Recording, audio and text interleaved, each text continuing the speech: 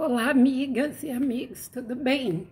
Espero que sim. Aqui é um vídeo de cactos e suculentas. Se você gostar, por favor, dê um like, comente, compartilhe.